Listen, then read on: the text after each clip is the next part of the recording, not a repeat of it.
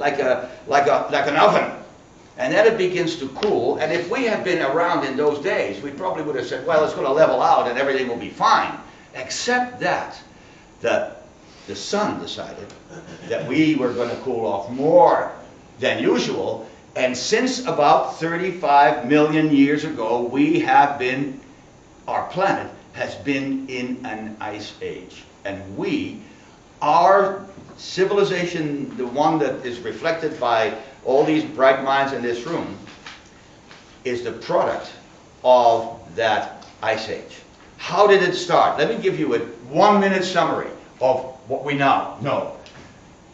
36 million years ago, there are, by the way, there are, by the way, names for these times, and you, I, I, just hope, uh, let me, um, let me hope, suggest to you that, that just like you, you, uh, you, you learn the when you're a child, the names of the days of the week and the months of the year.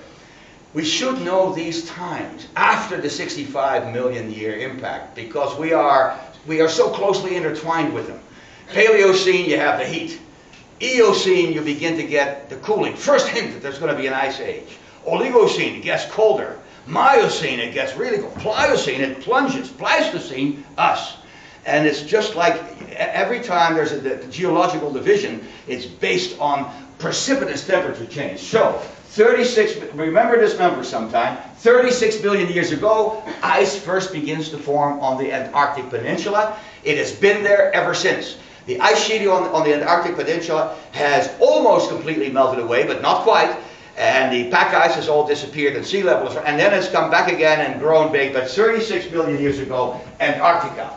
24 million years ago, and remarkable regularity really, but we have pretty good evidence that 24 million years ago, the first great glaciers formed on the, on the mountains even at the equator. Kilimanjaro, the Andes, New Guinea, glaciers that have been there for off and on for 24 million years. 12 million years ago, the um, uh, ice, the ice covers the ocean at the North Pole, and there has been North Polar ice off and on ever since. So we have a situation where, where you watch the temperatures, it doesn't of course go in a straight line, but it sort of drops like this. It goes down in this sort of fashion. And now comes about 6 billion years ago, we come to the Pliocene, and the Pliocene produces a plunge that, that basically takes temperatures down to the lowest they have been for 200 million years. The Pliocene is worth remembering this, this word. It's only 6 million years ago, and uh, as you undoubtedly know, big things were happening in Africa at that time.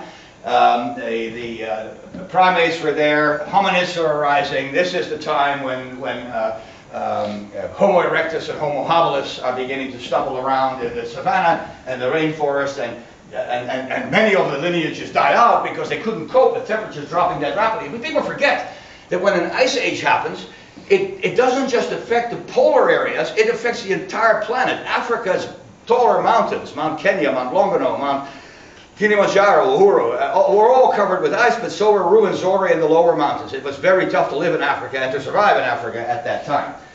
And that goes on to two million years ago, and, and, and, and this is where we are now. And, and this is another word I would like to ask you to, to never forget. We are living today in an epoch called the Pleistocene, the Pleistocene, and that uh, we now know so much more about what weather and climate have been like over these past two million years that we can relate what is happening today, literally, to this latest drama.